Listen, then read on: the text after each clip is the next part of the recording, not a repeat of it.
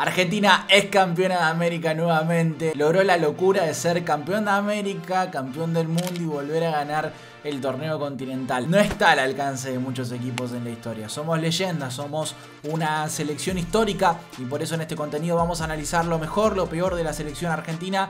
Ya vamos a entrar a hilar fino dentro de las grandes figuras, lo que no gustó tanto, pero principalmente vamos a ponderar la grandeza de estos tipos que volvieron a obtener un título continental con lo difícil que es hacer algo así. Bienvenidos a un nuevo video, dos comentarios. Lo primero es muchas gracias, muchas gracias. No suelo dar eh, referencias temporales de cuando grabo, pero para que sepan, acabo de subir el contenido del video que subí anoche para ustedes.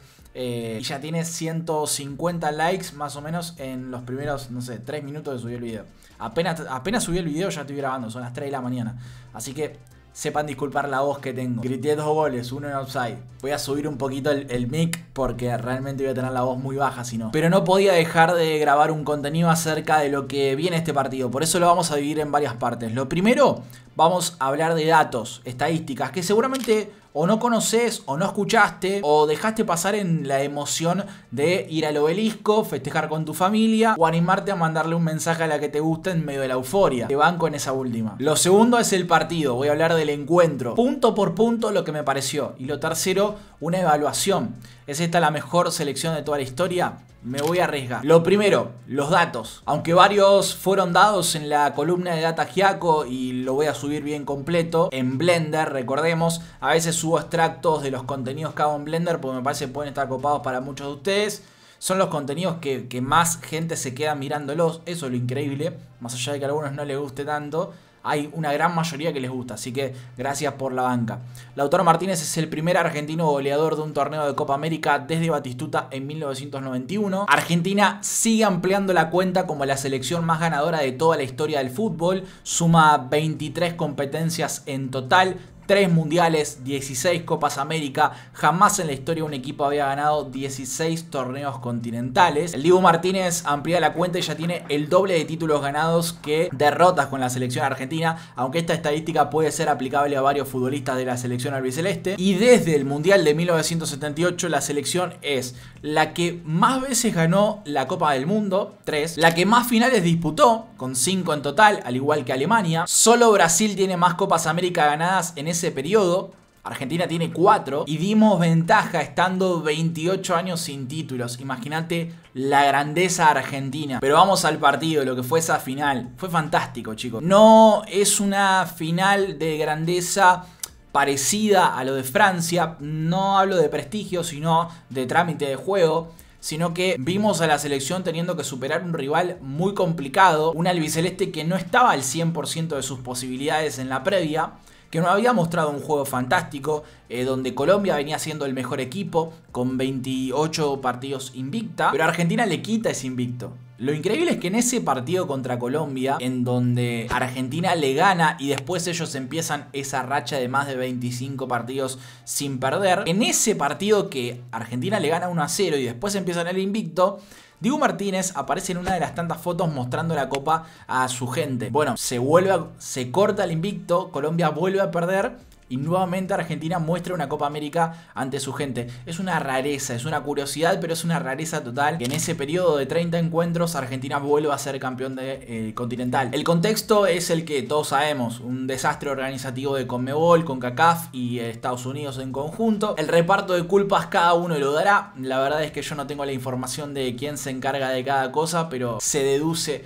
que si toda la Copa América fue un desastre organizativo, bueno, eh, cada uno debe tener su responsabilidad. Campos de juego paupérrimos, un desastre, mismo el de la final fue malísimo. El campo de juego, el terreno del Hard Rock Stadium, calor sofocante. Mismo en este partido los jugadores sufrieron mucho el cambio de aire ante la humedad existente. Enzo Fernández sale eh, de la cancha con toda la camiseta transpirada, pero más allá de su esfuerzo y desgaste, era puntualmente por eh, la alta demanda física que, trajo consigo eh, la humedad eh, en ese estadio que, bueno, los jugadores sortearon de muy buena manera. Un pequeño datito, los únicos jugadores que repetían respecto a las dos finales anteriores de América y del mundo eran Diego Martínez, Cuti Romero, De Paul, Messi y Di María. Di María que cumplía 145 partidos con la selección albiceleste, su último encuentro con la selección argentina. Y empezamos muy bien porque hay un gran centro de Montiel que eh, Julián no puede conectar. Rápidamente empezamos a tener una situación bastante complicada. Scaloni está parado desde el minuto 1. ¿Por qué? Porque Colombia nos empezó a atacar fuerte. De hecho, los primeros 10 minutos yo estaba viéndolo con unos amigos, un amigo y, y mi hermano, y había una sensación de, che, ojo acá, porque Colombia se nos venía encima. Cuti corta el primer intento de contra de muy buena manera, avisando que iba a terminar siendo la gran figura de la cancha. Messi estaba participativo de arranque, Licha corta una contra bastante difícil también. Dibu tiene dos jugadas de peligro en el inicio, Lucho Díaz remata al arco y no puede ser debido a que eh, Dibu embolsa bien la pelota. Eh, Córdoba remata, pega en el caño y se va afuera. Dibu hace así, eh, todo pasa. Y esa jugada comienza con James Rodríguez ganando la posición en una zona en donde ni Alexis McAllister,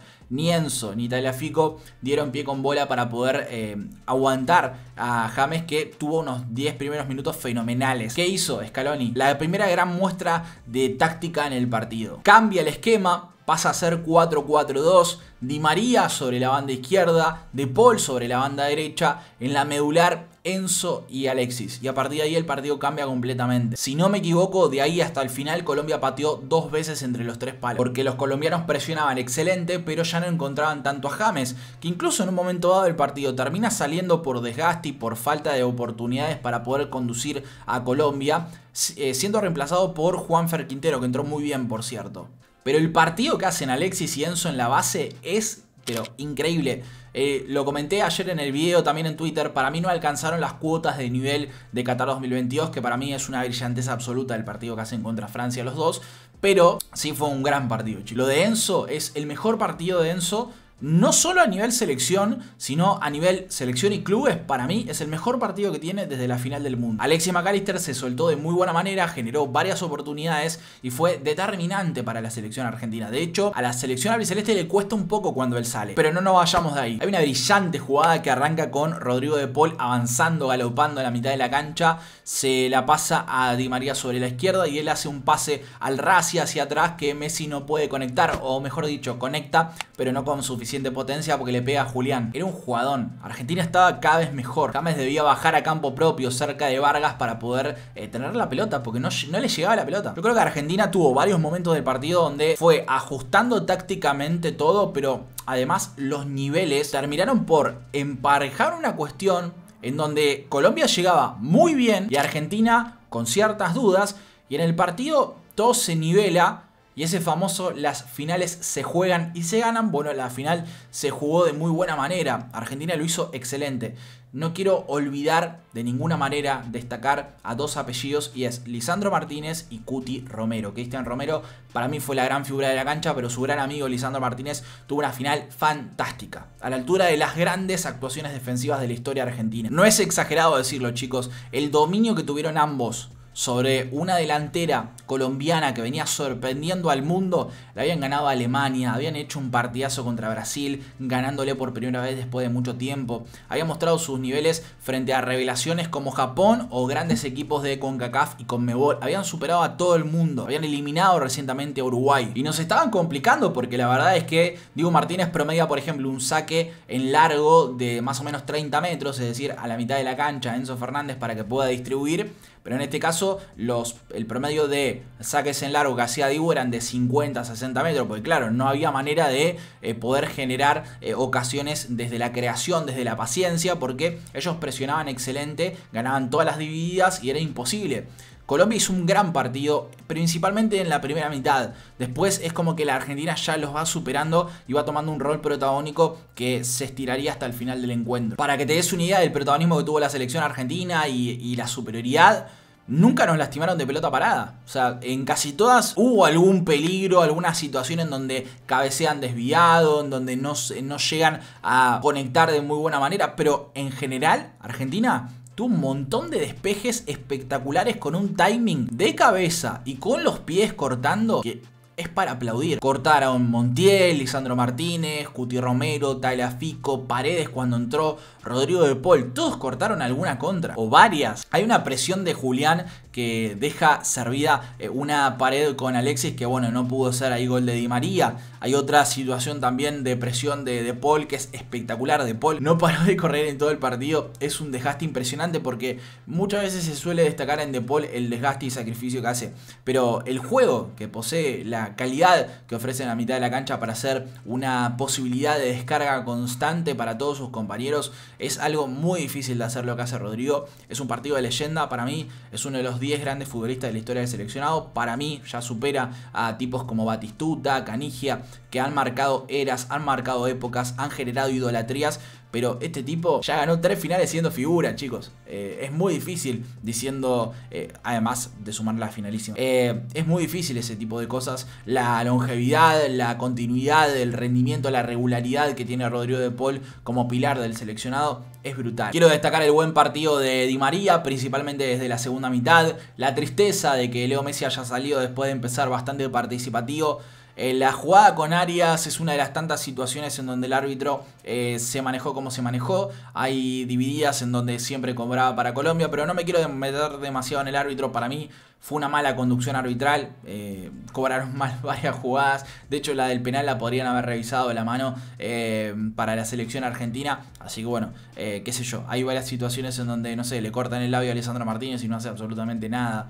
entonces, hay varias situaciones así que, que, hicieron putear bastante el árbitro. Pero en cuanto al fútbol, la Argentina no tiene nada para insultar, no tiene nada para putear, no tiene nada para cuestionar porque casi todos estuvieron a la altura de un partidazo hubo buenas entradas. Nico eh, González entró bien en el partido. Eh, lo putearon algunos porque erró varias oportunidades de peligro. Entiendo que debe convertir alguna. Si vos tenés 4 o 5 oportunidades, tenés que convertir. Tuvo esa del offside, lamentablemente no fue eh, cobrado como, como gol, pero fue una oportunidad clarita. También tuvo otras oportunidades en donde entre desvíos y el arquero Vargas no pudo. Pero la verdad es que cuando Nico González entra, Argentina se le mete en campo a Colombia le genera un problema importante a la defensa colombiana sobre la banda derecha eh, y exige. La verdad es que Nico González es un tipo que exige. Entonces estaban muy atentos a defenderlo más que a seguir avanzando por esa banda. Fue un gran cambio. También la entrada de Lautaro Martínez, de Lo Celso y de Paredes fue excelente. De hecho, los tres participan en el gol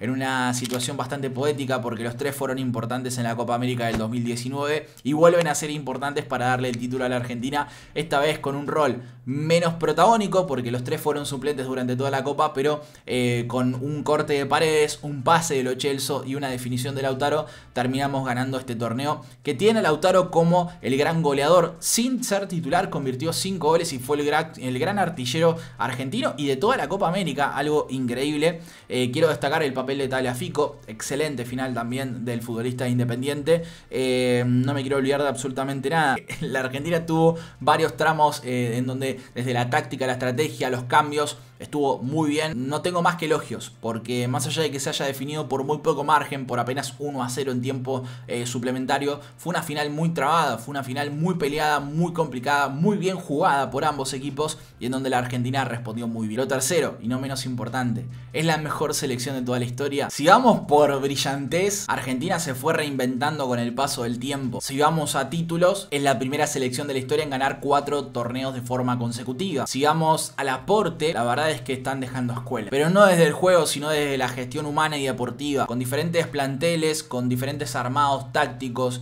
con diferentes mediocampos desde el Lo Celso Paredes eh, de Paul hasta el de Paul Alexis Mac y Enzo ha cambiado la cosa y han vuelto a modificar todo en la actual Copa América. Eh, han pasado delanteros diferentes, han pasado laterales diferentes, han pasado sagas centrales con Otamendi, pero luego se adaptan a la presencia de Lisandro Martínez. Eh, nos hemos establecido con Diego Martínez como arquero, pero también con referentes diferentes como Di María, como Messi, como Otamendi, como el propio De Paul, como uno de los pilares. La verdad es que la selección se fue reinventando con el paso del tiempo y su grandeza no hace más que aumentar. Es muy difícil lograr la longevidad que tuvo este seleccionado y aunque me merece el mayor tipo de los respetos lo que hizo César Luis Menotti reconstruyendo o mejor dicho construyendo a la selección argentina de los 70 75, 76, 77 en lo que terminó siendo el campeón del mundo del 78 o después lo logrado por el Narigón Bilardo en esa grandeza del Mundial del 86 pero también